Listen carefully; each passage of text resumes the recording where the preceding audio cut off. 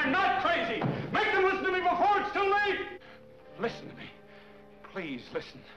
If you don't, if you won't, if you fail to understand, then the same incredible terror that's menacing me will strike at you!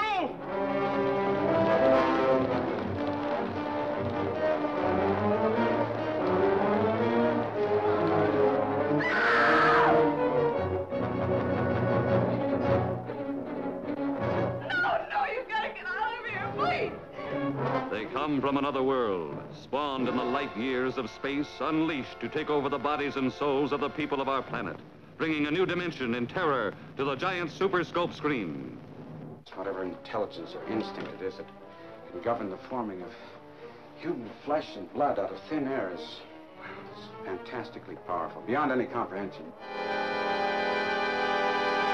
A cursed, dreadful, malevolent thing was happening to those he loved. This isn't just an ordinary body, is it?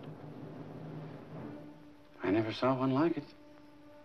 It looks unused. The sensational star discovery of The View from Pompey's Head. And now an undreamed of horror makes her life and love a vortex of fear. Jack! Oh. Miles, where do they come from? I don't know. Suddenly, while you're asleep, they'll absorb your minds, your memories. I don't want any part of it. You're forgetting something, Miles. What's that? You have no choice. From city to city, an incredible hysterical panic spreads. As the unimaginable becomes real, the impossible becomes true. Stop and listen! Stop and listen to me! Listen! Listen!